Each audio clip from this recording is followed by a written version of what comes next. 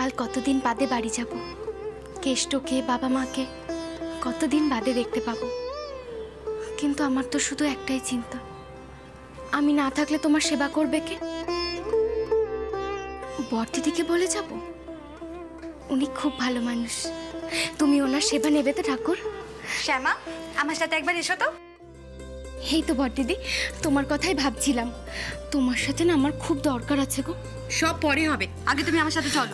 শোনো না বলছি এগুলো গুছিয়ে নিয়ে তারপর যাই। এসব পরে করো আগে চলো আমার সাথে শোনো না একবার। আমার কথাটা।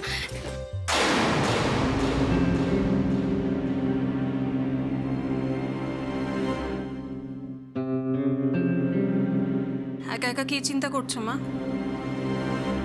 মেজ বৌমা আমার এখন কাউকে ভালো লাগছে না, কিচ্ছু ভালো লাগছে না। আমার এখন একা থাকাই ভালো, তুমি এখন তোমার ঘরে যাও।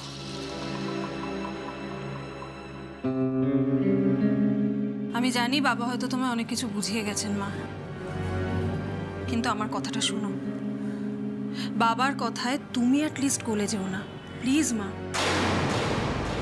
যা করবে ভেবে চিন্তা করো। আমি দাদামশাইয়ের সিদ্ধান্ত, দাদামশাইয়ের কথা সব কিছু মাথায় রেখেই বলছি, মা। ইটস হাই টাইম তুমি এবার কিছু একটা বলো।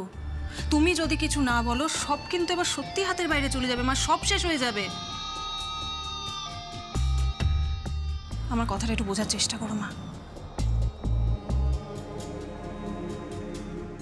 শ্যামা জবে থেকেই বাড়িতে এসেছে, তবে থেকে ও যা যা করছে এভরিথিং পুরোটা একটা অভিনয়। সেটা আর কেউ বুঝুক না বুঝুক, আমি ঠিক বুঝতে পারছি। আর তুমি দেখো, একদিন আমি সকলের সামনে শ্যামার এই ভালো মানুষের মুখোশটা না টেনে খুলে দেবো।